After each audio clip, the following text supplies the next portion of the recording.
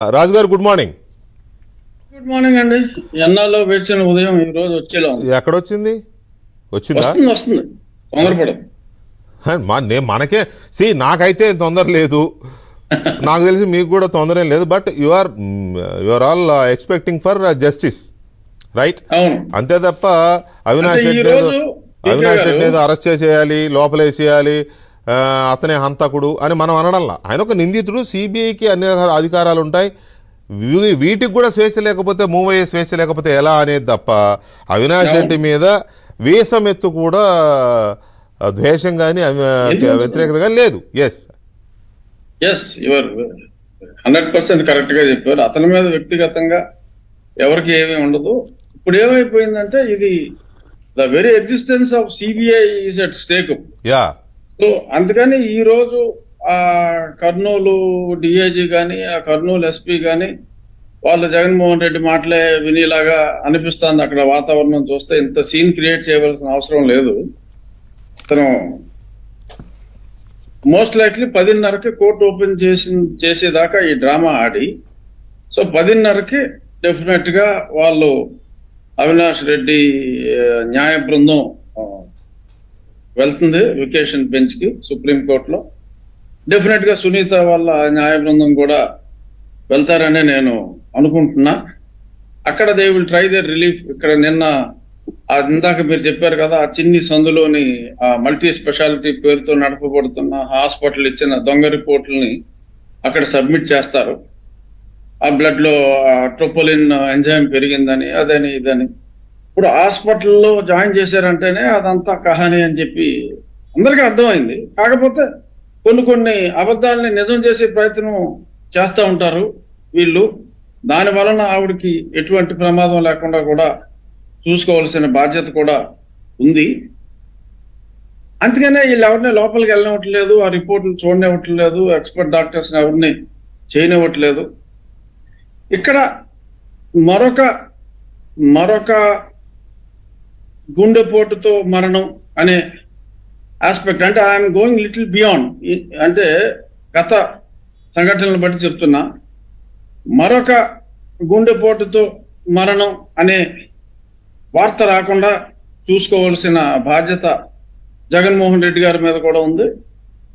At the same time hospital అధికారుల మీద కూడా ఉంది. ఎందుకంటే ఏదైనా జరగరాంతి జరిగినట్టు చూపెడితే హాస్పిటల్ యాజమాన్యంతో పాటు ఈ సహకరించని పోలీసు అధికారులతో సహా డాక్టర్లతో సహా మొత్తం అందరూ జైలుకి వెళ్ళిపోయే ప్రమాదం కూడా ఉంది కాబట్టి వాళ్ళంత రిస్క్ వేస్తారని చెప్పి నేను అనుకోకపోయినప్పటికీ ఇప్పుడు జరుగుతున్న వ్యవహారం ఈ రావణకాండ ఈ దహ ఈ మీడియాని ఈ రకంగా కొట్టడాలు ఇవన్నీ చూస్తే పరిస్థితి ఆర్టికల్ త్రీ ఫిఫ్టీ సిక్స్ వరకు వెళ్ళినా కూడా ఆశ్చర్యపోకల్లా. ఎందుకంటే ఒక రాష్ట్ర ముఖ్యమంత్రి తన పోలీసుల్ని సిబిఐకి ఇంత వ్యతిరేకంగా బహిరంగంగా చేస్తున్నాడు అంటే undoubtedly situation might lead to three fifty six అందులో ఎటువంటి అనుమానం లేదు. Police they have to cooperate all India service officers ఇలా చేయడానికి లేదు.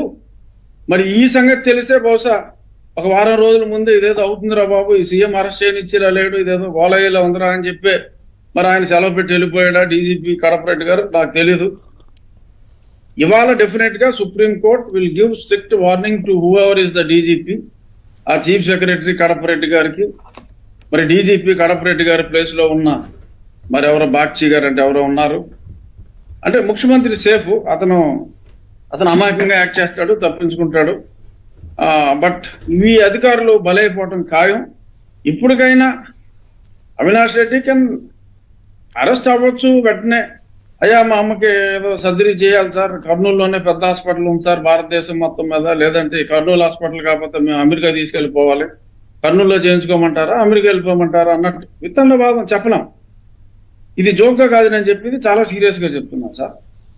ఆయన ఇది చేసిన తర్వాత వెళ్ళి బెయిల్ అడిగితే బెయిల్ వచ్చే అవకాశం అంటే ఈ మానిటర్ చేసుకోవడానికి ఉండొచ్చు కానీ లేదు అంటే కనుక పరిస్థితి చాలా తీవ్రంగా వెళ్ళి అది ఎక్కడితో ఆగదు.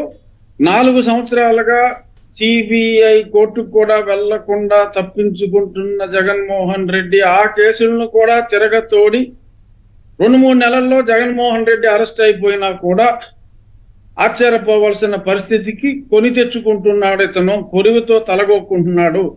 ఇన్నాళ్ళు ఓకే చూసి చూడనట్టున్నారు. దాన్ని ఇంత అలుసుగా తీసుకుని నా చేతిలో పోలీసు ఉందని చెప్పి ఇతను విచ్చలవిడిగా విశృంఖలంగా విలనిజం.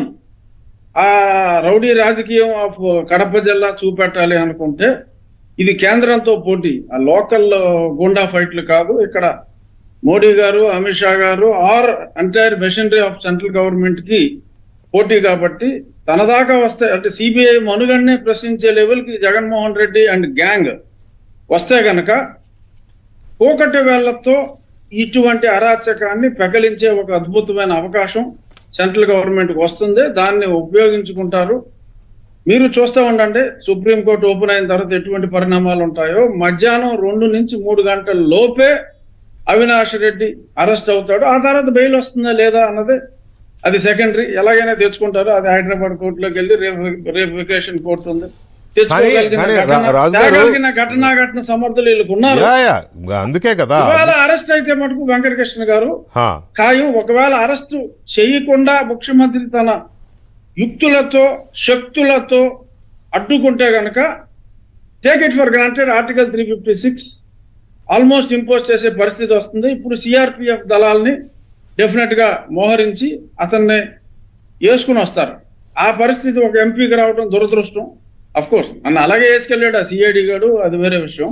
బట్ ఇతను ఏమి కొడతాలు గెడతాలు అలాంటివి ఏమి చేయరు. ఈ సిఐడి వాళ్ళు అంత నాస్టీగా వాళ్ళు బిహేవ్ చేయరు. మర్యాదగా తీసుకొస్తారు మర్యాదగా ట్రీట్ చేస్తారు. ఓకే తండ్రి దగ్గరికి పంపుతారు. తండ్రి కొడుకు కలిసి మళ్ళీ హాస్పిటల్కి వచ్చి ఈవిని పరామర్శించడానికి మళ్ళీ కర్నూలు వెళ్తారా? లేకపోతే ఆవిడ ఎక్కడికి తీసుకొస్తారో కానీ ఈ రోజు అరెస్ట్ కాకపోతే ఒక రకంగా మంచిది. చాలా విచిత్రమైన పరిణామాలు జరిగి అసలుకే ఎసరు వచ్చి మా ముఖ్యమంత్రి కూడా జైలుకి వెళ్ళే పరిస్థితి వస్తుంది అని చెప్పడానికి నేనేమి సంకోచించను. ఎందుకు చెప్తున్నాను అంటే దీనివల్ల మా పార్టీకి నష్టం కాబట్టి ఇంకా పార్టీలో ఉన్నాను కాబట్టి ఇది ఒక హెచ్చరికగా భావించాలి తప్ప నేనేమి ముఖ్యమంత్రికి వ్యతిరేకమో ఇంకో వ్యతిరేకమో కాదు. పార్టీకి నష్టం జరుగుతుంది. రేపు ముఖ్యమంత్రిని పార్టీ అధ్యక్షుడు కూడా అతనే కాబట్టి అతను మళ్ళీ కోర్టుకు రావాలని చెప్పి ఎవడన్నా సుప్రీంకోర్టుకి వెళ్తారు? లేకపోతే సిబిఐ ఇప్పుడు దాకా కలుపు కూర్చుంది. ఒక హైకోర్టు ఒక దురదృష్టకరమైన తీర్పునిస్తే ఏలక్కలేదు ముఖ్యమంత్రి కోర్టు కంటే తానా అంటే తందానా అంటే నోరు మూసు కూర్చున్నారు ఇప్పుడు దాకా వాళ్ళు ఇప్పుడు కూడా మాకు సిబిఐ కోర్టుకు రావట్లేదు అని పిటిషన్ వేస్తే అది కూడా కదులుతుంది యా కాబట్టి రాజు గారు రాజు గారు మీరు అన్నట్టు. మీరు అన్నట్టు CM from Kadapa chief secretary from Kadapa